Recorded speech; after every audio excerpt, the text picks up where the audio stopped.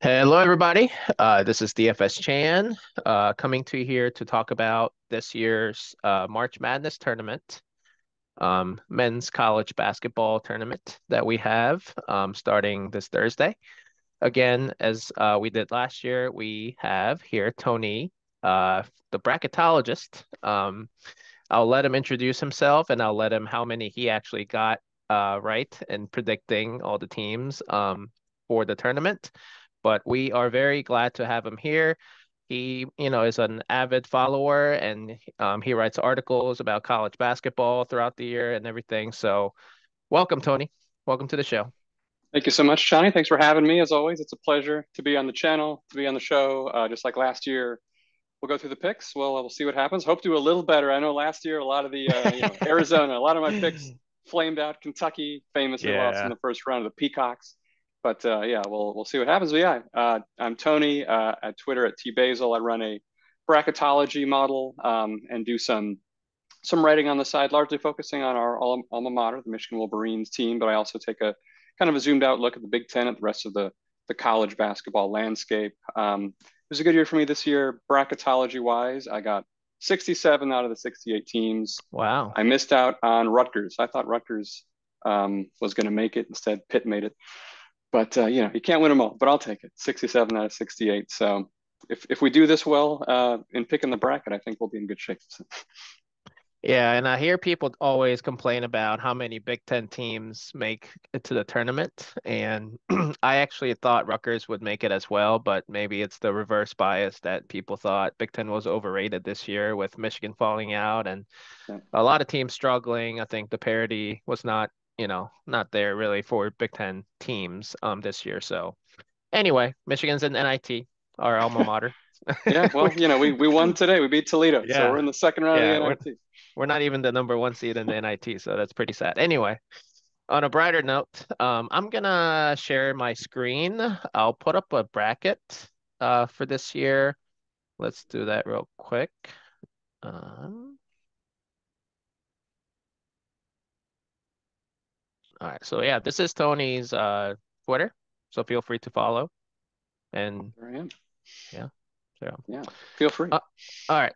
So here is the bracket. Um, but first, before we dive into each region and each matchups, um, we're gonna kind of just go through general um maybe pointers or tips um and stats maybe that will help you to fill out a bracket more effectively for example, um, please, please do not pick all four number one seeds to make it to the tournament, uh, semifinals, final, final four. Um, like I know a lot of the people in my work bracket group and my family bracket group, they tend to do that. I mean, I see so many people do that. I think just like at the yeah. end of the day, they're like, oh, they're the number one seeds for a reason. But upsets happen all the time and we'll talk about some of those a lot of those upsets maybe upset potentials but you know i just feel like you know that happens very rarely. I don't know what you think tony but number one seeds mm. make all making to the final four. Yeah super rare. I think it's only happened once ever um, about 15 years ago. But yeah really i mean you know people yeah they see the one or the two next to the name and they think okay you know they're they're a cakewalk all the way through. But really I think statistically, once you get past the first round, I mean, a, one seed is going to beat a 16 seed pretty much every time. But even against an eight or a nine seed in the second round, those games become coin flips pretty fast. So you know, I usually one or two one seeds make it all the way to the final four, but all four of them, yeah, I would I would spice it up a little bit more than that.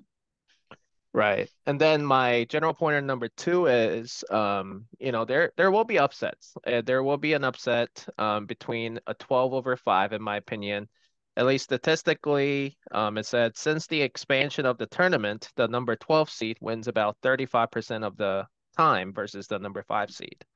So statistically, at least one number two, 12 seed should win here in this year's tournament. Um, and we'll talk about which of those 12 seeds is Tony's favorite. yeah. um, there, are some good ones this year. There, exactly. There's some good 12 seeds. Exactly. And I think um, there are some higher seeds, seed teams that uh, may not be as strong um, as the maybe you know the those seeds from last year or the year before that. I think this year is you know very open, wide open in my opinion. I think there are a few elite teams in my opinion, but I think aside from those, I think uh, anything really can happen. Um, and I like a lot of the spots for potential upsets. And my last general pointer is um, I want I think we should pick at least one seed lower than a number 10 seed to make it to the Sweet 16.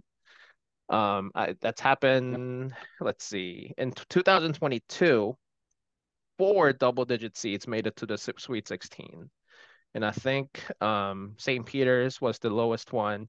And they actually made it quite, they actually made it quite far to Elite Eight. And I think Miami made it to the Elite Eight as the number 10 seed. Mm-hmm. So, yeah, I mean, so as you can tell, there will be upsets. Um, it's it's our you know us our spots you know uh, that we need to pick the right spots basically um so I, I am very interested in hearing about Tony's uh you know tips and matchup analyses and you know see if any of the key players star players you know can can take them over the hump but do you have any other general pointers or tips for filling out a bracket Tony yeah I think it's interesting when when you're talking about winning a bracket pool um you know a lot of times you know say you got 40 or 50 people in a pool, you're going to get a lot of folks picking the one seeds, Alabama, Houston, um, you know, of the top. They've been great all year. It wouldn't surprise me if they won the whole thing, but you kind of you're putting all your eggs in that basket if you if you pick one of those teams. A good strategy, in my opinion, which I you know sometimes works, sometimes doesn't, but pick one of those teams that's just a tier lower or maybe a little bit less popular. Um, and I think ESPN has a feature working. you can kind of take a look at the trends and see you know who's picking who on kind of a macro level. Um, mm. So yeah, just just a thought, and then also with with upsets is I kind of like to pick upsets that won't hurt me too badly if they don't make it through. So let's say that you love Alabama, you have them going all the way through. Um, you can go ahead and pick a Furman, you know, or pick a Charleston because you know ultimately, um, if you think Alabama is going to win anyway, a couple rounds later, you're not losing that many points um, if you if you don't get those upsets right, and if you miss out on a Virginia making a couple a couple wins so, you know, things like that um, can kind of optimize your chances around the margins. But, you know, like I said, it's it's a crapshoot. You never know what's going to happen. Um, you know, there are a lot of ways to do it. But yeah, and that's a good point. And I think part of what you said relates to the game theory. I think it depends on the size of the pool, bracket pool you're playing in as well. Obviously, if you're playing in like the ESPN main tournament with like millions of other people, then obviously you will need to get those upsets correctly, right? And you need to take more risks. And you'll need to think about from the ownership standpoint, if you think Alabama is virtually gonna be 99% picked, you know, to win the first yeah. game. Yeah, I mean that that's definitely gonna happen. And it's it's a it's a wise game theory move to fade that and then go with somebody else. Mm-hmm. So I think if but if you are playing in a work bracket pool with like 20 other people in your office, then you don't need to take as much risks, right? Like you, you That's do true. need to kind of just go chalky and pick the pick the higher seed teams that you think will have a higher chance of winning. Like if they if you think they'll win eight, eight out of ten times, then it'll be, probably be the be the right pick to choose. Um, if you are playing in a smaller size pool, so so that's just a you know game theory thing. But I think you know overall, just gotta go with your gut, and sometimes gotta go with the better mascot. You know, if you ask my wife, so um, it is what it is. So yeah. So without any further ado, let's go into each matchups and each regions. I'm actually gonna. Most people start in the South region because that's the first that shows up. But I'm actually gonna go to the Midwest region. I'm gonna right. throw you a little curveball, Tony. Oh yeah. All right. All right. in, in my opinion, Midwest is the most wide open and probably mm-hmm. a lot of upsets that I see in this bracket uh, in this region. Um, but so I'm guessing you like Houston over Northern Kentucky in the first matchup. Yeah, let's let's go ahead and put uh, put the Cougars through. Do you let's talk let's talk about the Big Ten Iowa team, um, mm-hmm. who is coached by uh, Mr. McCaffery that I hate quite a bit. Um, but yeah. you know he has his uh, kids playing for him on that team, and maybe there's an extra motivation and you know, uh, maybe family motivation there, but you know, going up against a tough Auburn team, in my opinion. So, what do you got in that matchup? Yeah, this is an interesting one. Um, yeah, we as, as, Michigan fans, we we face the McCafferys uh, in this Iowa Hawkeyes team multiple times per season, most of most of the years. Um, I don't know. I, I think Iowa. I mean, they have an elite elite offense. Um, they have uh, they have another Murray. Um, you know, uh, Kris and Keegan Murray, the brothers, uh, been going through the program. One of them's out in Sacramento. You know, doing a great job in the NBA. The other's going to be drafted again after this season. Um, offensively, they are elite. Defensively, they are a paper tiger. They're, they're they have a horrible defense. Um, routinely, games with Iowa will be in the 90s, even 100s. You know, in, in some cases. Um, so I think for me, you know, it'll be a fun game to watch. Uh, but the Iowa offense versus a very, very good Auburn defense um, is kind of going to be what, what, what, it comes down to. I think mm-hmm. Auburn just a little bit more balanced. Um, so I would probably say they'll advance. Iowa could if they shoot the lights out, you know, but but Auburn for me, I think has the edge there. Oh, okay. Um, I I like the fact that Auburn's also playing in Alabama. Um, yeah. so I think that's gonna be an interesting home crowd advantage there. Mm-hmm. Uh, at least more, you know, closer proximity to Auburn uh, compared to Iowa. So I will agree with you, and I'll put Auburn through. Um, and then here's here we go. Here's the 12-5 matchup yeah. between Drake and Miami. Uh, I think this is a very interesting one. Um, I like Miami quite a bit, but I've seen a lot of other experts pick Drake. Um, just given that Drake has a pretty pretty good offense, at least from what I've saw what I've seen. Mm-hmm. Um, and I think it's um, I think I read somewhere, yeah, I think I read somewhere they're very experienced and they have a lot of um, uh, veterans on the team, so they've been playing together quite a bit. So, what do you think about this matchup? Yeah, I think you know it's interesting you you bring up the experience perspective here. Um, it's something that we're seeing a lot more, kind of this year, last year. We'll probably also see it again next year because of the COVID year. A lot of a lot of players get five or even six years where they can stay in college, be eligible to play on the team. And you know, you have a lot of these mid majors, like like your Drakes, for instance, that yeah, very old, very experienced, um, kind of gives them a bit of a leg up, kind of evens the playing field. When normally you'd think of you know a high major program like Miami would just wipe mm-hmm. the floor with them. Um, this is very close. I, I think you know Miami they have some nice wins this year, but analytically they're they're kind of an average, maybe probably below average five seed. Um, so yeah, I I think Drake has has the potential here, and I think they're probably going to do it. Another thing, Miami suffered an injury, I think, in the ACC tournament against Duke. Um, his name is Norchad Omier, kind of a glue guy, kind of a do-it-all um, player for Miami. He's, you know, maybe kind of up in the air. So that's another reason where Drake, I think, could have him. Gotcha. All right. Already, we have a 12 yeah, over 5 upset here. So I love it. Actually, Auburn was number nine as well. So there's a little bit of upset there. Um, here we go. Indiana is an interesting one. Um, with Trayce uh, Trayce Jackson Davis, um, one of my favorite players to watch. I think he will do well in the NBA. Um, going up against Kent State. I am a believer in Indiana's team. Um, I know he had some injury issues throughout the season, but you know, just watching them later in the Big Ten uh, conference, I like them quite a bit the way they play but I do think they have some deficiencies on offense uh, aside from Trayce Jackson Davis. Um, so what do you think about this matchup against Kent State? Yeah, this is. I mean, this is another one. You know, this this this this is one in my bracket. I kind of like Kent State a little bit more than Indiana here. Um, Kent State, it's an interesting team. You know, the champions out of the MAC, um, pretty decent mid-major league. But if you look back at the early part of the season for Kent State, they went toe to toe with three tournament teams. College of Charleston, all, all these on the road, by the way. Um, yeah, they barely lost to Charleston, barely lost to Houston, barely lost to Gonzaga. Mm-hmm. Um, so you know they they hung with them, and they were leading in all those all three of those games with under three minutes to go. Um, just couldn't quite close the deal, but they're not going to be intimidated by Indiana.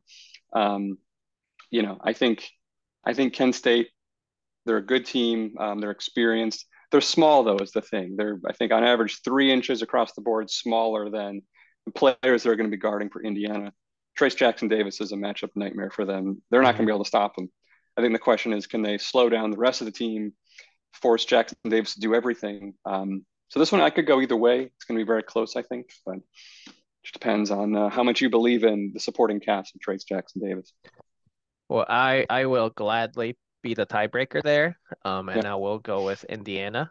Um, I do think Trayce and Trayce Jackson Davis will have a matchup matchup problem, create a mm-hmm. matchup problem against Kent State.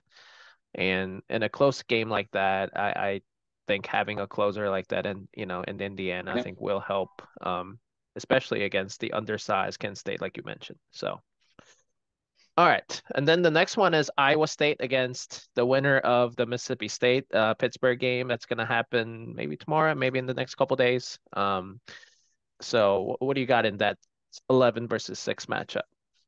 Yeah, this is another interesting one. 11-6, we've seen a lot of upsets, um, you know, in the past where the 11 seed wins in the first four and then goes on to make a bit of a run. We saw that with yeah. UCLA. We'll see. I think if it's Pitt, I would say Iowa State easily gets through. I don't think Pitt's that good. Um, Michigan played them and beat them by 30. We didn't even make the tournament. you know? So I, I, think Pitt's overrated. Um, Iowa State's a great defensive team. If it's Mississippi State, you know, that's going to be closer. Um, so we'll see. Kind of maybe, maybe wait until Wednesday or Thursday to make your final pick there.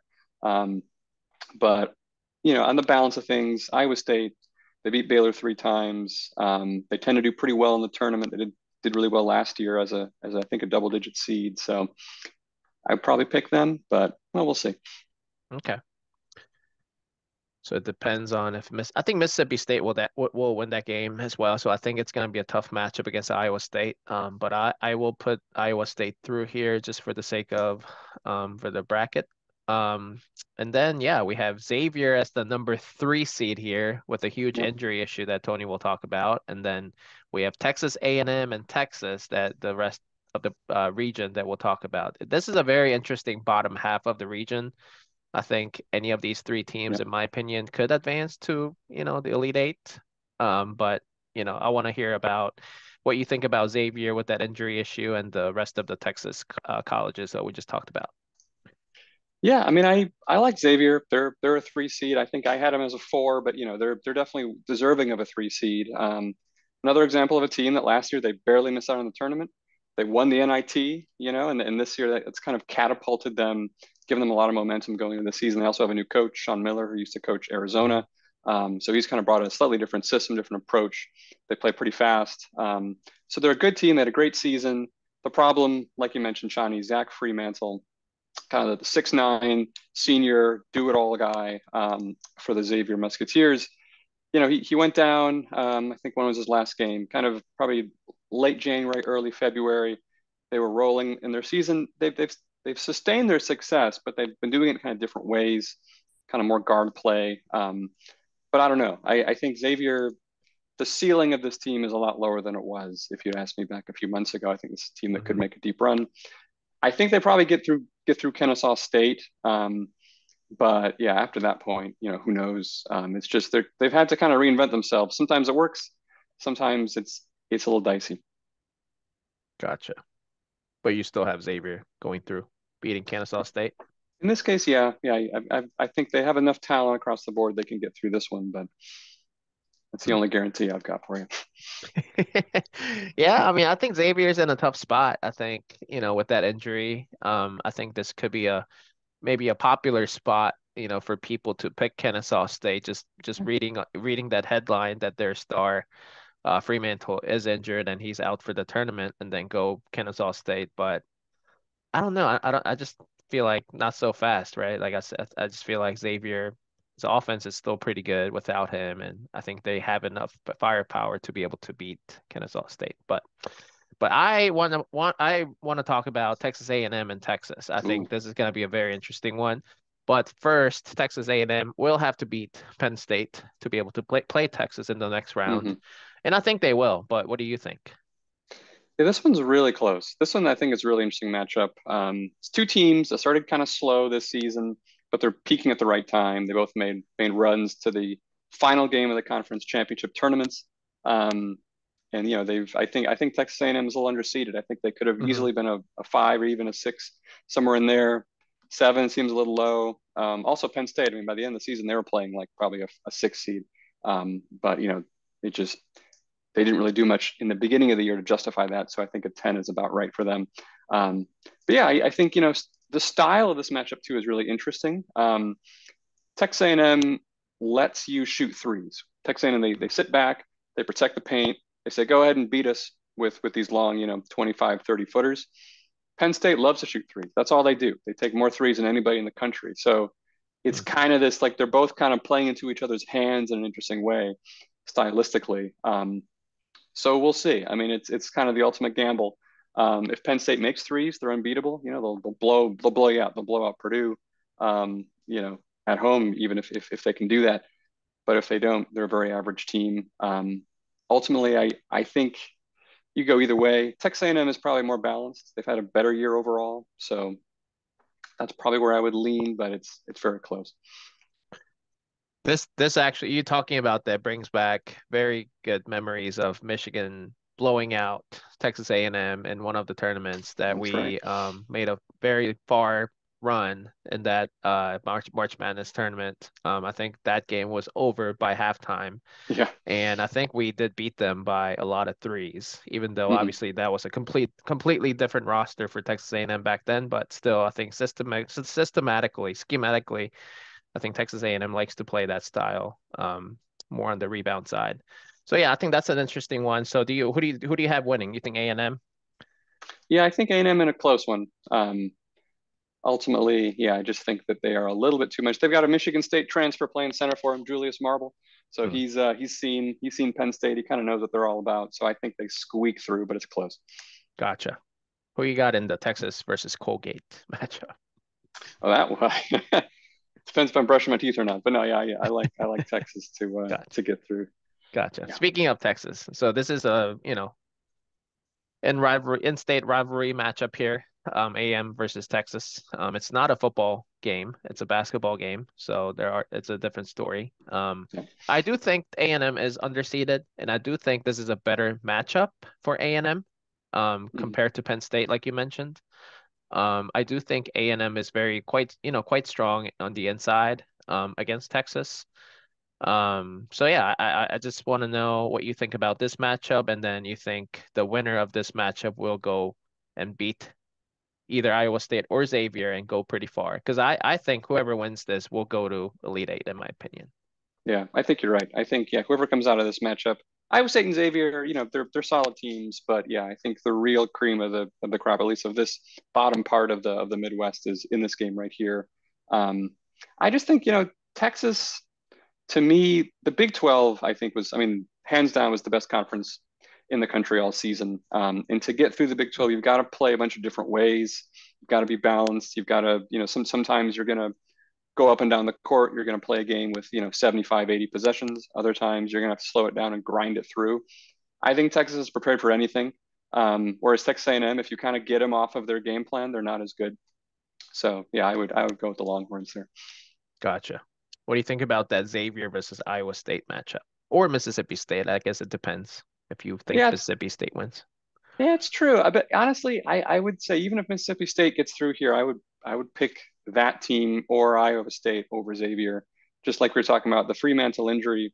Um, Xavier's a good team, but they're not a great team, and they're you know I think I think Iowa State especially. I mean, they just take away your first and your second option offensively, or you know when when they play defense, I should say. Um, Otzelberger, the head coach there, has just done a tremendous job. So I, I ultimately I don't see how Xavier can score um, against Iowa State, and I think Iowa State gets a gets enough baskets where they where they prevail here. Gotcha. All right, so I got um all right, let's talk about Houston um and whether you are a believer um in Houston over let's see Auburn and then maybe potentially Indiana or Drake in the next matchup. Mm-hmm.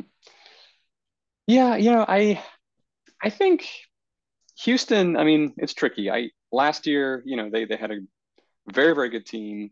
Were kind of underseeded on the five line. Made it, I think to the Elite Eight. Had a surprising win over Arizona, and then ultimately fell in the Elite Eight to, to Villanova. Um, it really, again, the question with with Houston is health, and is Marcus Sasser going to be healthy? Is he going to be hundred percent? Because if he is, this is a fantastic team uh, that's capable of, of winning six games in March and winning the whole thing. Um, so I, I, do think they get through Auburn, even with that question mark kind of lingering over this matchup. How much further they get is an open question. Um, but yeah, I mean they're they do everything well, um, and I think Auburn, you know, ultimately is just a little weak in a few areas where Houston can exploit that. How about Indiana with Trayce uh, Trayce Jackson Davis? You think he will pose any problem against Houston, assuming that they go uh, get over Drake in the matchup? yeah, I mean this would be that would be a heavyweight heavyweight fight for sure. Um, I, I do like the way Indiana's played. Um, they've had a lot of expectations this year, and they've largely lived up to them. Beaten Purdue twice, which is you know no small feat. Um, they challenged themselves in the non-conference. I don't know. I think again, you could go either way here. Um, I think back last year to you know the way Houston was able to deal with uh, Illinois and, and mm-hmm. Kofi Cockburn kind of shut him down. Even though Houston's a little undersized, yeah. I mean they're just they just swarm to the ball, um, and yeah. they have depth, they have talent, they have experience. So if, if it is you know Indiana there in this spot, and that's also an open question. I think Drake that could be a very close one. Um, okay. But yeah, whoever gets to that point, I think Houston probably still beats them. But okay. So between Drake and Indiana, I think I'm gonna go with Indiana. Um, and then you say Houston, right? So let's mm-hmm. go Houston. And I know who you got between Texas and Iowa State, but you know, I'll let you make the pick. yeah, well, I mean, these they they they played in the regular season. Um, I think they split the matchups. Mm-hmm. Texas, mm-hmm. again, I, I, think it's just the balance. Um, and you look kind of across the board and sort of the trends of the champions, teams that are able to win six games and, right. and cut down the nets. Right. You have to have some balance. Iowa State, great defense. Their offense is, is just kind of non-existent, and I, I think that's ultimately going to do them in in the Sweet 16. Yeah, and that and that's why I picked Texas A&M over Penn State. Um, mm-hmm. Even if Penn State wins that matchup, I just don't think Penn State will go far because you know they like to shoot threes, and I think they just need to have a little more balance. And teams like that, not just Penn State, but teams like that, like you said, I mean, need to have a balance not only on offense and defense, but also on the offensive side.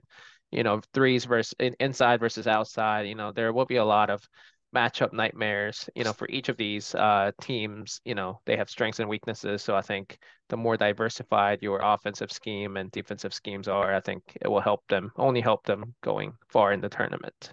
Yeah.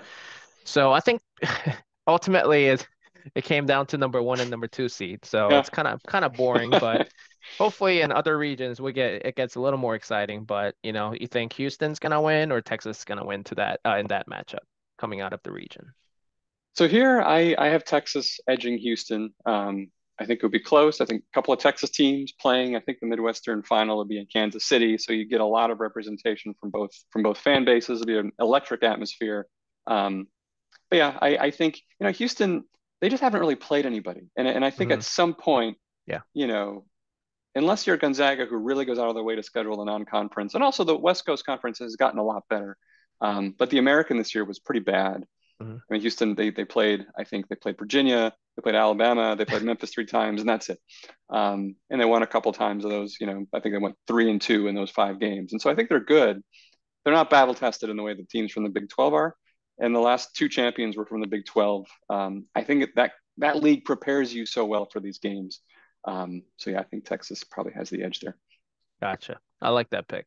I like that pick. Um, all right, let's go over to the South region, um, where I think um, things are a little more straightforward, in my opinion, at least. Um, yeah. But let's talk about Alabama as the number one seed and then Arizona as the number two seed. What do you think about those teams uh, and their chances go, of making it to the Elite Eight? So yeah, I, I, would say Alabama. I would pencil them through. Um, I mean, they they have it all. They have kind of the recipe for a very successful postseason run. They have an elite defense. You know, their offense gets a lot of a lot of the attention because they play fast. They score a lot of points. Um, they play kind of a fun style. Brandon Miller is going to be a lottery pick, probably a top five pick. Um, yeah. You know, he's still playing. Um, you know, he's kind of playing through. Uh, yeah, it, to put it mildly, um, some some pretty awful circumstances there um, mm. on that on that ball team. But yeah, he's you know they've given him the green light to keep playing, and and he's done a good job. Um, you know, leading that team to, to the number one overall seed. So you know, Alabama's formidable. Um, but yeah, they they play a unique style too, which is interesting. Nate Oats kind of has them. They play fast they kind of moneyball it um, with mm-hmm. the way they play. So they're going to be a tough out for anybody. Gotcha. What do you think about Arizona's chance of being upset by an Ivy League team in Princeton? Ooh, well, you know, I mean, Princeton, they the Ivy League every year, you know, right. Think, thinking back to a few years, Harvard made a Harvard. run. You know, yeah. Yale's Yale's had some really solid teams. Um, Cornell, I think. You never know. Um, Arizona, the thing that that you can't you don't really get much of in the Ivy League is is two two seven footers, you know, lining up um, in in I think Ballo and Tubelis. Yes. So Arizona, just kind of like last year, I mean, they're huge. Um, and I think I don't think they're quite as good as last year. I mean, mm-hmm. losing Benedict Mathurin to the NBA obviously hurts hurts your roster, but but they might be playing better now than they were last year, if that makes any sense. So I, mm-hmm. I like them in this matchup, um, and I probably like them in the next one too. Gotcha. Yeah. You know, I was looking at Princeton a little, you know, more carefully than than I would would have, um, just because you know there's a 15 seed uh, that usually makes a pretty good run in a tournament like this every few years, and you know, there's always that team that's a Cinderella story, right? Like in the tournament like this, and I thought about picking Princeton pretty to go pretty far, but eh, man, as soon as I saw those two uh, big men for Arizona um, highlights and everything, I just feel like Arizona has what it takes to even be able to maybe beat Alabama in the Elite Eight game. But um, but yeah, let's talk about um, Maryland versus West yeah. Virginia. Um, and then maybe the potential upset by College of Charleston that I've seen a lot, mm-hmm. a lot of people pick, I think, over San Diego State. Yeah, yeah. Um, well, should we start at the eight nine? Um, yeah. You know, Maryland. I mean, I kind of like their team. The computers really like Maryland. Computers think Maryland's a top twenty team. That being said, they've only won on the road twice this year against Louisville, who who you know is is just total garbage this year, um, and and Minnesota, who's also pretty bad. They haven't beaten any even remotely decent team away from home really. Um, they have a couple neutral court wins, but you know, road games, um, you know, the, those kind of early season neutral court, you know, those environments often are, are pretty pretty dead.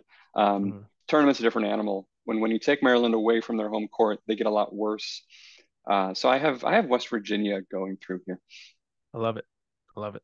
Um, and then what do you think about College of Charleston? You know, Charleston, I mean, this is another 512 that I, I really like. I, I think it's, it's not, I'm not surprised to hear a lot of people pick against San Diego State. San Diego State's a solid team, but they play really slow. They don't really have the firepower to run away from you once they take the lead. Mm. They don't really beat teams by very much. Um, and yeah, I, I, think Charleston, they play a style that San Diego State is not really going to be able to handle. They play fast. They shoot a lot of threes, kind of like Alabama. Mm. Um, and I like Charleston. Yeah, I remember that one year. I think Andrew Goudelock, um, who played for College of Charleston. Yeah, it's a long mm-hmm. time ago, but man, man, I mean, I remember. yeah, it's a throwback for sure. And College of Charleston, you know, they're they're you know a regular in in a bracket like this, and you know, I think they're usually around the seed all the time, um, like number eleven, number thirteen, and stuff like that. So, yeah, I think that's a good pick. Um, what do you think about Virginia against Furman? You know, UVA tends to struggle quite a bit in tournaments like this. I wonder what your thoughts are on, on that matchup. Yeah, this one I think is going to be really close. I mean, usually you think a four versus a 13, it should be a pretty comfortable win for the four seed. Um, but Virginia is just not that good. Um, they have the mm-hmm. resume of a four seed. They, they have a lot of really good neutral court early season wins. Um, so they, I get why they're here, but you know, yeah, I mean, we've seen them get upset by, you know, by a 16 um, before, and and I just don't think that they really have the NBA level talent that um, that that that this team has had in the past, where they've made deeper runs.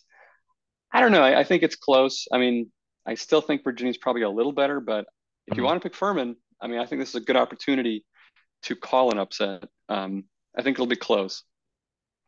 I think it will be close, and I think that you know they got that really real bad loss already out of their system yeah, this year yeah. against Boston College. Mm-hmm. Um, so I, I think they will be a little more motivated here. Um, I don't think this this will be a trap um, game where UVA tends to struggle.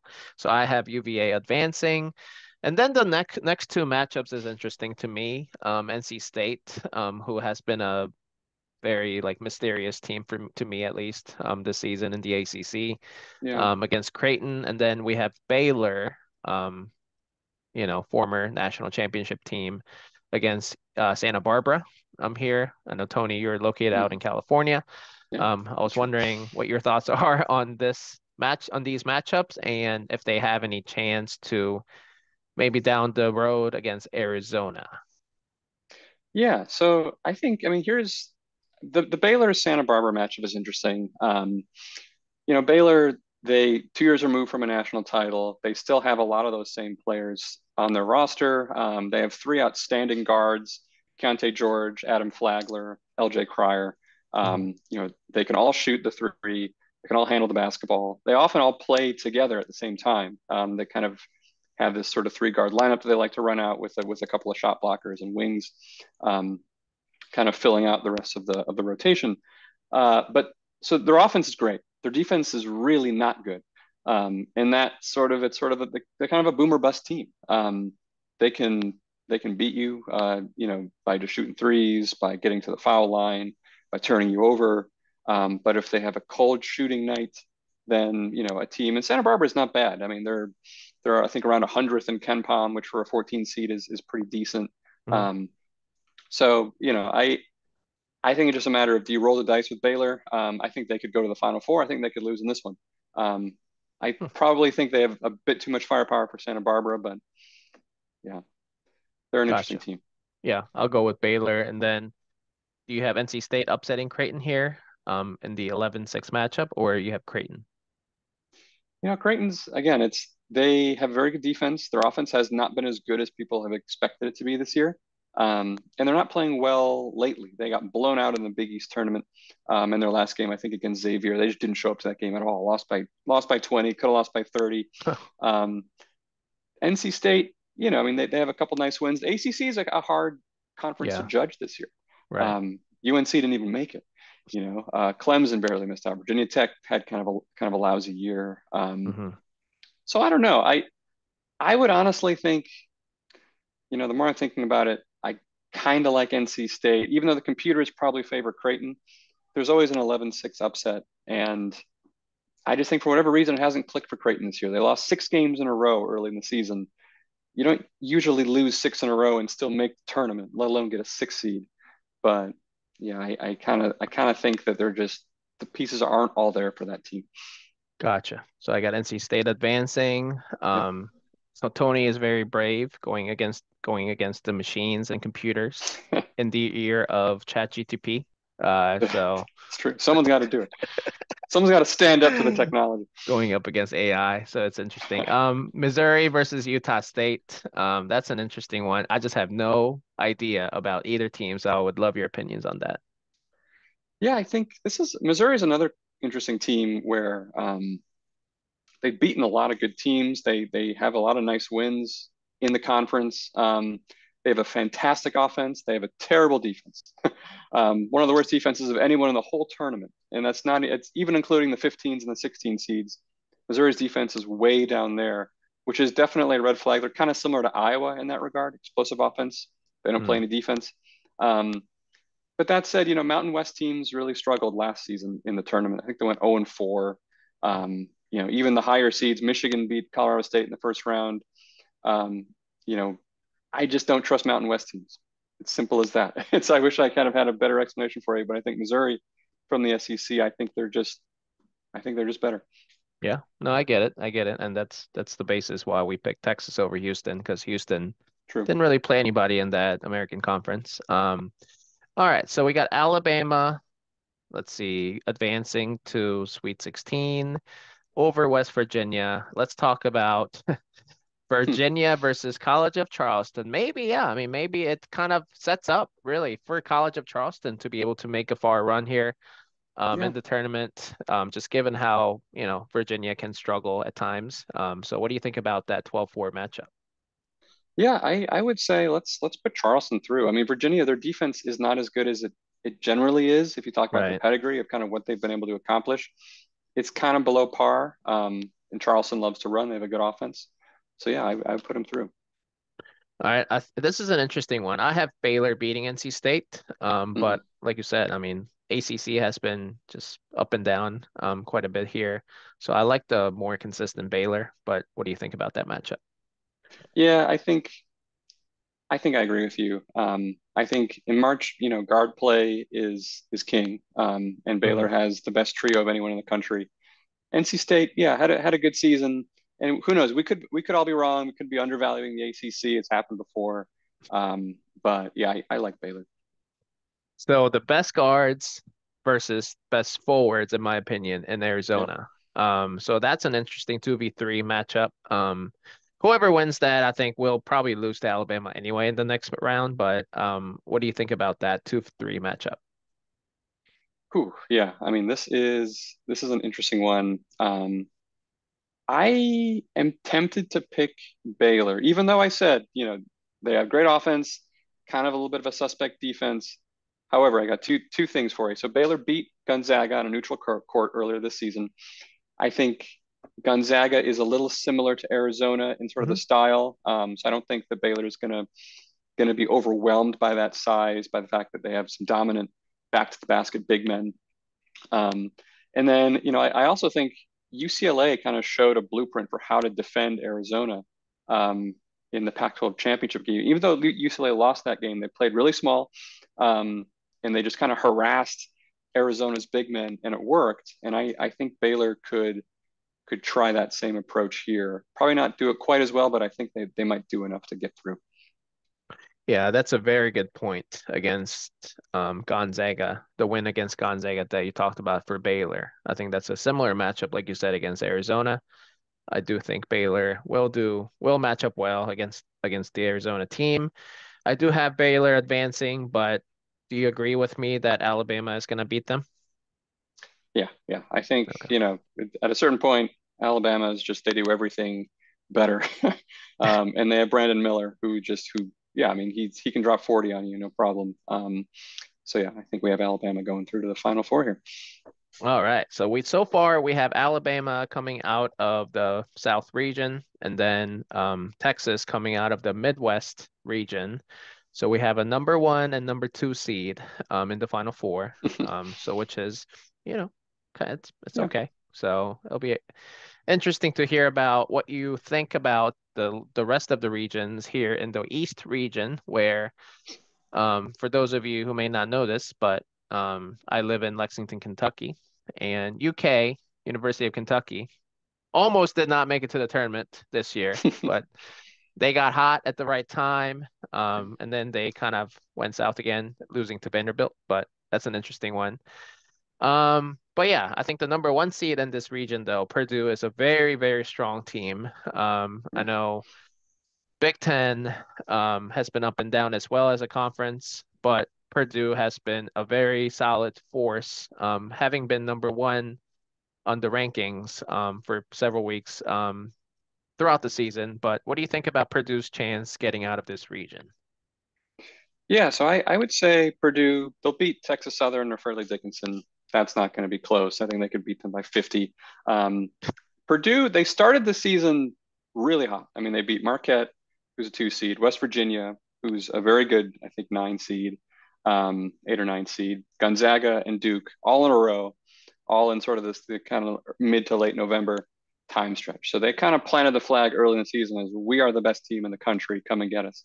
Um, mm-hmm. They have Zach Edey, seven foot four, um, you know, player of the year. He's he's a monster. Um, but then kind of towards the, the, once the Big Ten season got underway, they started to wobble a little bit.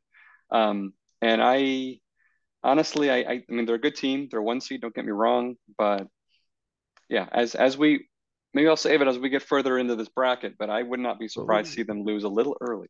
Oh, okay. I love it. I love it. A little foreshadowing here. Um, all right, we got Memphis versus FAU. Um, I don't really know much about these two teams, so I would love your opinion on that and if they have any chance against Purdue in the second round. Yeah, so I think Memphis, they're an interesting team. Um, they were a very young team last year. Uh, Jalen Duren, Emoni Bates, and think back a couple mm-hmm. years earlier than that, Precious Achiuwa. Yeah. You know, Penny Hardaway's known for bringing in these these star-studded recruiting classes playing freshmen, playing sophomores. This season, Memphis has 10 seniors on their roster. Their whole wow. team is senior. They're the oldest, one of the oldest teams in the country. Um, so they're kind of steady. And that's sort of maybe they didn't get as much hype throughout the season is because they don't have the superstars that are going to get drafted in the first round. Mm. Um, but by the end of the year, you know, they they played really played Houston really tough three times, and they they kind of blew them out um, this past Sunday to win the American Conference. Right. So yeah, I've I have Memphis going through. Florida Atlantic's a decent team, um, but I think Memphis is just too strong overall. Oh, I I like that you talk highly of Memphis. That's that's very interesting because I didn't really watch much of American there um, this year. So that's an interesting one, I think, in the next matchup against Purdue. But we'll save that um, in a few minutes for a few minutes. Um, and then we have Duke out of ACC against Oral Roberts, and we have Tennessee against Louisiana. And I think most people will go with Duke and Tennessee just given the brand recognition, mm-hmm. big school names. But do you see any upset potential here between the 12 seed and 5, 12 and 5 and 13 and 4? Yeah, so this is another one where I think this is the best 12 seed in the tournament in Oral Roberts, but this is also the best five seed with Duke. um, so it's kind of it's unfortunate where I don't think we're going to see a 12-5 here, just okay. because Duke has really figured it out. Um, and this happens, you know, we'll see it with Kentucky a lot too. Young teams, a lot of freshmen. Yeah. They kind of don't really do well, and then by the time February, March rolls around, they just they just rocket to the moon. So I, I think Duke is playing really well right now. Gotcha. What about Tennessee versus Louisiana? Tennessee's this one I would almost say maybe Louisiana. I'm still going to go with Tennessee, mm-hmm. but their starting point guard got hurt a couple weeks ago. They haven't really been the same team since then. Um, their defense is very good, but it's fallen off. Their offense, strangely enough, has actually gotten a little bit better, but Tennessee is known for their defense. That's what brought them throughout the season. Um, they're number one, I think, in the country, or number two at, at one point and they've kind of since taken a bit of a step back. So I have them getting through Louisiana, but yeah, that's probably as far as I see them going, to be honest. Yeah, I think I read somewhere that Duke won nine straight games heading into this tournament. So, you know, like you said, they are on a hot streak. Now, UK, on the other hand, um, I think having lost to Vanderbilt um, very recently, that's an interesting one, I think. Um, I think UK also lost to Vanderbilt in a football game, so I think there's something there. But um, oh, so no. anyway, as a number six seed, I think it's an interesting matchup. Like you said, UK can be streaky, uh, both up and down. Um, going up against a Providence team, what do you think about this matchup? Yeah, I you know I think I mean I'm I'm not a huge fan of Kentucky. Um, but I think that might be partly because I just expected them to be really, really good, and and they've they've just been solid, but they haven't quite hit the ceiling that I was expecting. And who knows? There's still time. We've seen Calipari do it before. He's taken, I think, an eight seed all the way to the to the, to the final game. Um, they still have a lot of the pieces in place from last year's two seed, but you know we all know what happened there. Um, but yeah, I, I, I think Kentucky gets through. I'm not impressed by Providence. If this were another 11 seed, I may maybe I'd pick the upset here, but not in this case. Gotcha. Yeah, I mean, having Oscar Tshiebwe returning for UK, I had higher expectations as well. Um, but their offense looks very limited. Um, I think they just move the ball around and then just jacking up these crazy shots. Um, unless they go to Tshiebwe down low. But I think matchup wise, I think I like UK here against Providence. Kansas State against Montana State. What do you think about this matchup? I think this is not going to be close. I, I don't think Montana State can score against Kansas State. Just plain and simple. You know, they're uh-huh. they don't have the offensive tools to do it. So naturally, Montana State's going to win by 30 points. Um, and they're going to score 90. Sorry, guys. That's how it works, um, as as evidenced by our last year's video. Um, but yeah, I have Kansas State winning here as well. Uh, Michigan State versus USC. I mean, two you know well-known schools um, and programs. Um, it's an interesting matchup. What do you think about Michigan State's chance of beating USC as the seventh seed? Yeah, it's a cool matchup. It's a future Big Ten matchup, isn't it? Two years. This is going to be. Oh gosh. This is going to be a Big Ten game in the you know late night in February or January. Yeah. But for now, um, you know, Michigan State's a funny team. They shoot the ball really well. They're a great three-point shooting team. Um, but their defense has just fallen off a cliff. And I think it's just because they don't have any big men. Um, I mean, they're they're relying on Joey Hauser to kind of play center, or um, you know, they have a couple other guys that kind of throw in there, but they're not very good. Um, so I don't know. I, I, think I could go either way. I think it's going to be a pretty close game, pretty entertaining game actually. But in the end, I, I think USC probably gets through. Which you know, again, easy easy for us to say that you know as as Michigan alums, but I I don't trust Michigan State. They lost to, to Ohio State, who's really not very good in the Big Ten tournament. Um, so I would go with the Trojans here. All right. I love that pick. Um, I thought you. Uh, Yeah, yeah. Um, Marquette as the number two seed. What do you think? I mean, I think they should go through right against Vermont. Yeah, yeah. Vermont, they're they're kind of a feisty 15, but yeah, Marquette's playing really well. Gotcha. So speaking of Marquette, I have Marquette beating USC, but I think this is a tougher matchup than most people think. Um, I mean, major conference, USC battle tested. Yep. Um, against UCLA, having played them twice. I I like Marquette here, but what do you think about USC's chances here against Marquette? Yeah, I think I think this is going to be a good one. Um, I mean, a few years ago, uh, Andy Enfield took USC, I think, all the way to the Elite Eight. So he's had success in the tournament before as as as a seed where you wouldn't otherwise expect it. Um, but I think Marquette, they got a guy, Tyler Kolek, who's I think a second or a third team All American point guard. Um, he's the real deal. He's he's really good. And he's especially in the last two months when Big East play started really rolling through, he's been tremendous. Um, almost kind of reminds me of another, you know, Michigan State guy from a few years ago, Cassius Winston, um, mm. who was just who tormented Michigan, was an outstanding point guard. I think Tyler Kolek kind of reminds me a little bit of him. So I would I would say Marquette on the strength of his play gets through here. Gotcha. Yeah, guard play is very important in the tournament. Um, what do you think about UK versus Kansas State? I think that's an interesting one. Yeah, that's that's a tough one. Um, but I, I, I hear what you said about earlier, Kansas State. Um, that you you I think you speak very highly of Kansas State. So yeah. I, I like Kansas State here, but you know I, I think as UK, you know, if they hit, you know, on their cylinders, you know, in the mm-hmm. tournament. After winning that matchup against Providence, maybe they go on a streak. But you know, I like Kansas State still. What do you think? Yeah, I I would go Kansas State in a close one. Um, they Kansas State turns it over quite a bit. They're, they don't really take care of the basketball, so I think that's the one thing to watch out for. Um, but there's a matchup, point guard matchup.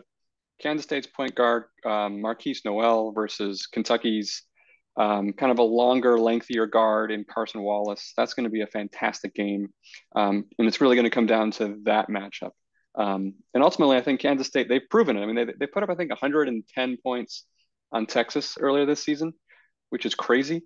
Um, so I, I think they'll figure it out, but I think it'll be close. Gotcha. All right. And then we have um, a Duke versus Tennessee matchup, 5v4. Um, I think this can go either way. Um, but like you said, Duke's on a hot streak. Um, will they continue in this matchup? I think they will. I think Duke wins it. Um, yeah, they're playing really well. Tennessee's a little banged up. And I think Duke's their offense, they're figuring it out under their first year head coach, replacing Coach K. And I think they get they get through the Sweet 16. On the other side of that uh, Sweet 16 potential matchup here, um, between Purdue and Memphis. I know mm-hmm. you kind of talked about maybe foreshadowed here um, about Purdue getting upset, but are they going to get upset here against Memphis or maybe in the later matchup? What do you think of, uh, about Memphis's chance of beating Purdue, the number one seed? I think this is where they go down. I think Purdue loses to Memphis. Um, of course, Zach Edey for Purdue is incredible, but really everyone else on on on Purdue's roster that's at least playing around Zach Edey, that's getting him the ball, they're freshmen um, or their wing players don't really handle the ball. But Purdue struggles, um, and it's, it's I think it's tough to play two true freshman guards and make a huge run unless they're lottery picks, you know, and then, unless you've got guys that are going to be drafted in the top ten. But that's not the case for Purdue, um, and you're going against a team full of seniors who just who just handled Houston pretty easily. Um, honestly, should have beat them twice um, in the last two weeks. So I, I, think I think Memphis. This is going to be the first big shock where the number one seed goes down early, but I think Memphis doesn't. So I know we haven't talked about Kansas, the last number one seed, but do you think so? Do you think Purdue is the weakest number one seed in the tournament? I think so. I think so. Um, I mean, Purdue, I don't know. I, I feel like they've played in a lot of close games in the Big Ten. They've won a lot of them, um, but they just haven't really hit the hit their stride in the way that I was expecting them from their early season performance, where they looked incredible. Um, I think Zach Edey is great, and he's going to score 25 or 30 points pretty much every game. He's going to be a problem. Um, but I think you know it's a real thing. Freshmen playing in their first full season, you kind of hit a bit of a wall, um, whether it's conditioning, whether it's mental toughness, whether it's the travel, whatever else. Um, so I think the play around Zach Edey has dropped a little bit, um, and I think I think they're pretty vulnerable because of that. Yeah, and unfortunately, I do think they land the toughest, the the best number eight seed in the tournament in Memphis, I think. So Yeah, um, I think that's a matchup thing as well. Um, so what do you think about Memphis versus Duke? This is an interesting one, but I'm guessing you are still riding on Duke's hot streak. Yeah, I think we're gonna put. I, I think Duke gets through here. Um, I I mean, what the way they've been playing has really impressed me. Um, went 2-0 against North Carolina, and I know North Carolina didn't even make the tournament, but to beat them in the last game of the season in Chapel Hill, um, when North Carolina needed that game to make the tournament, basically, um, mm-hmm. that was like a game seven for them, and the fact that they handled them um, and then kept the run going, it's really impressive. And I, I, I think, I think they're they're big. They have lottery picks. They have the talent, and they're peaking at the right time. Gotcha. Yeah, we're we Michigan fans are familiar with that. Um, so we understand. And um, Kansas State versus Marquette. Um, two teams that I don't really know much about, but I heard you talk highly of Kansas State. Um, but Marquette is no joke, I from what I hear as well. So what do you think about this matchup? Yeah, I mean Marquette's another team that's been really hot. They won the Big East regular season championship, and then they won the conference tournament championship. Um, Shaka Smart has disappointed in March before. So I will preface this yeah. by saying that you know I won't I won't hold this hold this against you if you get a little anxious about me putting Marquette this far. Um, but I don't think he's ever had a guard as good as, as Tyler Kolek, at least recently. Um, you know, Texas, you know, they, they had solid teams, but but never this good. Um, so I think, and again, Kansas State, they just they just turn the ball over a lot. Um, they're a little sloppy with it. They play fast and loose. I think that's enough against Kentucky, but I, I don't think that's enough to beat Marquette. Gotcha. So who gets out of this region between Duke and Marquette? What do you, what's your pick? Oh man, I mean, I I kind of want to pick Duke, but in the end, I think Marquette does it. Um, I just I don't know. I, I it's gonna be a close one, um, but ultimately, you know, Duke they've been on a run. They've they've been doing really well, um, but they they're kind of a they're, a team that's oriented around the big guys, um, Lively and Filipowski. Roach, the guard, is is solid, um, but again, I, I don't think that they can handle the way that Marquette spaces the floor. Um, they have a great ball screen game, so I think Marquette gets the final four here. So I should put all my money on Tyler Kolek um, to hit over over the points total I mean, each of those matchups, right? I, I think I do think he's going to create a lot of matchup problems, um, and I do think I think he won the Big East Player of the Year award, um, so that's mm-hmm. going to be a player he's to good. watch. Yeah, so I think you know for those of you who are interested in those kind of bets, um, I think Marquette making the far run like this in the bracket, um, you know, I think that he has a pretty good chance of performing well. Um, in the West region, though, um, we have Kansas number one seed and UCLA as the number two seed, but then we have mm. number three Gonzaga. So that's a very tough one through three yeah. seeds in the West region. What do you think about Kansas's chance of getting out of this region?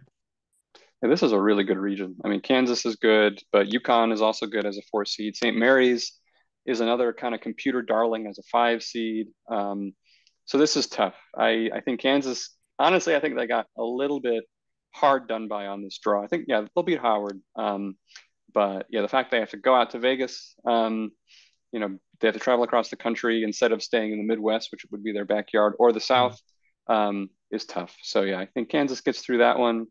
Um, and the next matchup, yeah, I, I have Arkansas. Um, Illinois is just they're they have two really great wins. I think they I think they they beat UCLA early in the season, um, mm-hmm. and then yeah they they beat Texas as well. You know, but they haven't done anything since. I don't think they have a single you know good win really after beyond those two. Um, their best three players on Illinois' team are all transfers. So I, I just think that there's kind of a team chemistry issue there with Illinois. Um, mm-hmm. They're just they're just less than the sum of their parts, if that makes any sense. So I think I think Arkansas gets through. Gotcha. All right, we have St. Mary's versus VCU. Um, we've seen St. Mary's make, you know, um, a good run in tournaments like this. But what do you think about their matchup against VCU? And then what do you think about UConn's matchup against Io- I- Iona? Yeah, and this one, um, you know, I guess I'm leaning towards chalk in both of these. Um, I think, especially the UConn Iona game, that's being played, I think, up in Albany. So it's super close to Iona, super close to UConn. I think we're everybody in that in that arena is going to be rooting for UConn or Iona. No one's going to care about St. Mary's or VCU. That's going to be kind of a weird environment, I think. Um, yeah, I, I, like VCU. I think they, they've got a couple of Michigan transfers who you know are doing a solid job there, but but St. Mary's is just too disciplined. They're too good of an offensive team. They execute really well. VCU kind of the only way they win is by causing turnovers and, and causing problems, and St. Mary's just doesn't make those mistakes. So I think they get through. Gotcha. The havoc style defense that VCU is well known for. True, they still um, kept it. Um, yeah, even Shaka Smart departure didn't affect that. Um, TCU versus uh, the winner of ASU versus Nevada. Um, that's gonna be an interesting one, but I have TCU advancing. What do you think? Yeah, I like TCU as well. Um, Arizona State, you know, they, they they have a few big wins. They beat Arizona on a miracle, you know, half court shot. But that's kind of what it takes for Arizona State to beat a good team is for it to be kind of a miracle. Um, in Nevada, yeah, I don't really see it. I, I think they barely snuck into the field, um, but I wouldn't be concerned about either of those teams against TCU. But then TCU, I guess their point is moot because Gonzaga is playing against Grand Canyon. Um, that's going to be an interesting one. And then we have Northwestern. I'm sorry. Hey, here's Palmer. oh, oh, hello. Yes. All right, Palmer we have getting excited for the uh, for the tournament. I'm, I'm yeah, assuming. he is. He is. We have Gonzaga against Grand Canyon, and then yeah, we have Northwestern, Boise State, and UCLA. But I just feel like Gonzaga is too strong for against Grand Canyon. What do you think about that matchup? Yeah, I, I think Gonzaga kind of rolls over them. Yeah. Um, shouldn't be too much of a problem. Um, but yeah, then Northwestern Boise State's interesting. Um, those are kind of similar teams, honestly. They are, I think, both kind of defense first uh, ball clubs in the way that they approach the game. Um, Northwestern's had a great run. They've beaten a lot of really good teams this year. But um, yeah, I would I would say Northwestern narrowly edges uh, Boise State there. Oh, Big Ten team right there, and then I'm guessing you have UCLA beating UNC Asheville. Yes, yeah, UCLA okay. will get through. So we actually have one through eight, all wow. advancing, no single upset in this region. Region. Um, so that's an interesting one. I think some people have picked. I've seen VCU beating St. Mary's. But I like your analysis on St. Mary's just not playing into VCU's strength. Um, so I think that's an interesting pick there. Mm-hmm. Um, so yeah, what do you think about these one through eight matchups? Yeah, that's right. It was all chalk to this point, but I think, well, we can start at the top. Um, I think Kansas, you know, to continue the trend, I think they're the one seed. Um, Arkansas is a funny team in that they haven't really had their full team together all season. Um, Nick Smith, who's probably a, a, top 10, top 15 NBA draft pick this this mm coming draft, has missed like two or three months throughout the course of the year. It's been really banged up. They also lost, Arkansas did, um, I think, a forward really early in the season to a knee injury. They're good, um, but Kansas defending champs, I think they get through. Gotcha. And do you think, do you, are you a believer in UConn over St. Mary's? I am. I think UConn, especially with this game being up in Albany, that's a tough. I mean, St. Mary's got to fly all the way from the Bay Area, way out there. Um, yeah, I, I think this will be this will be one that UConn wins.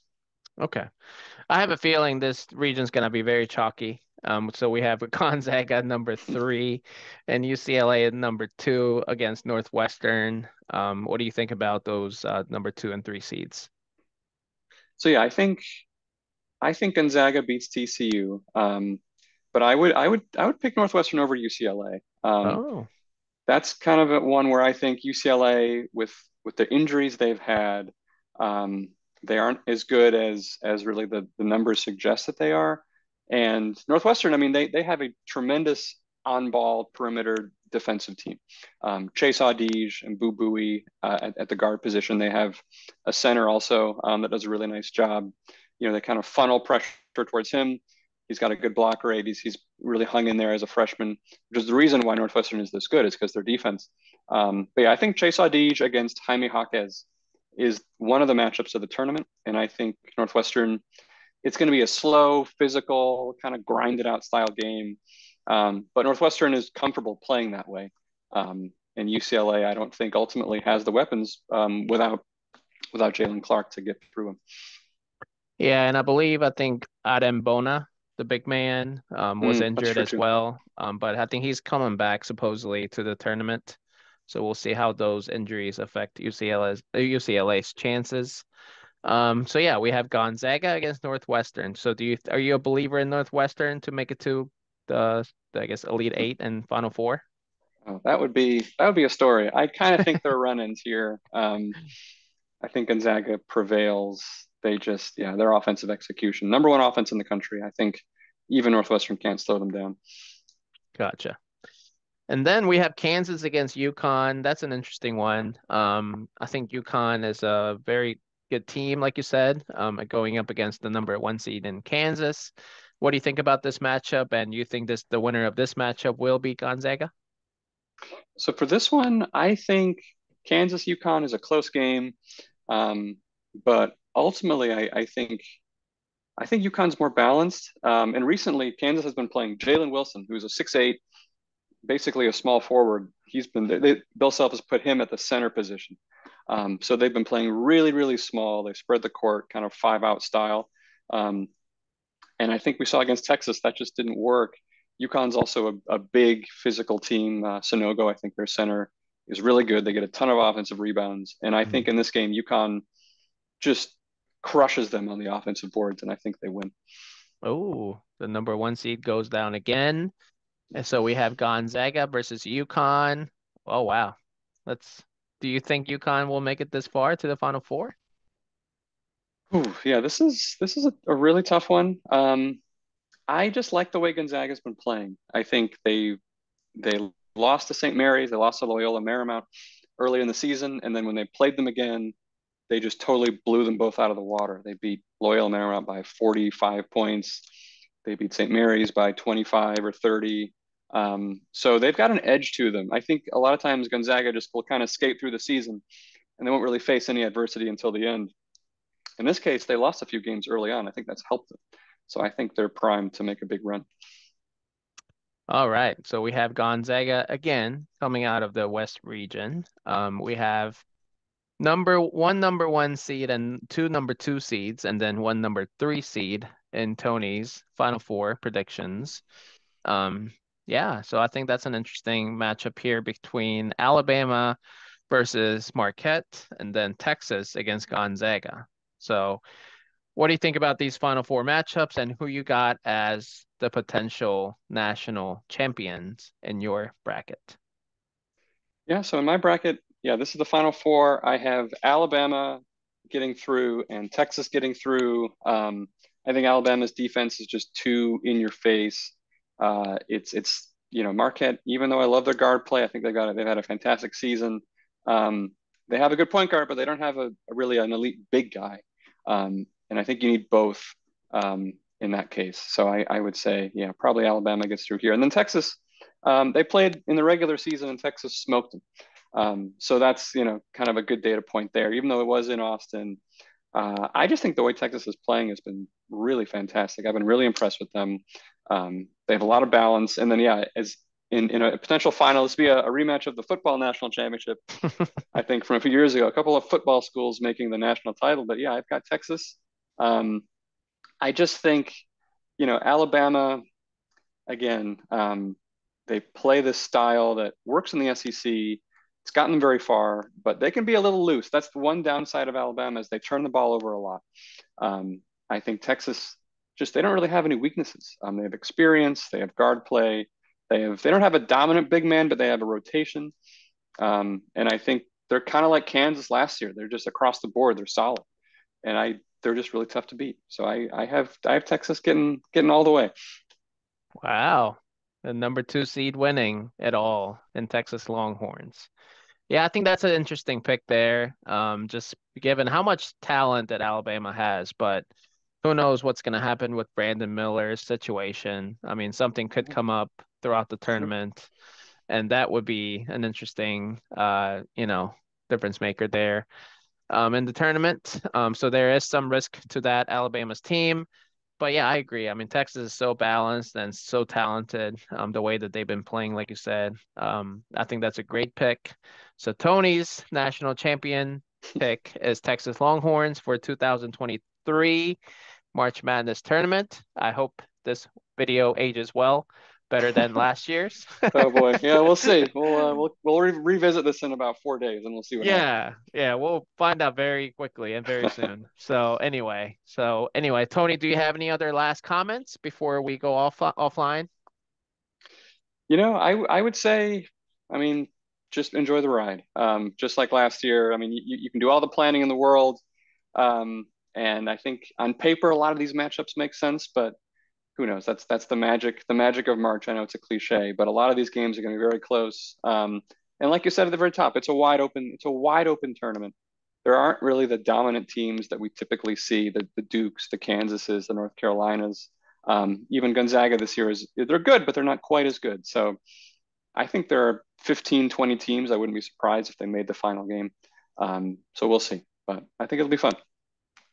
That sounds great. And uh, for those of you who are watching, I hope you guys, um, you know, your your college, your university, you know, does well in the tournament. Whoever you support, and I, most importantly, I hope your bracket does well. And I hope you find these uh, this video uh, informative, hopefully, and hopefully this can make you some money um, in your pools.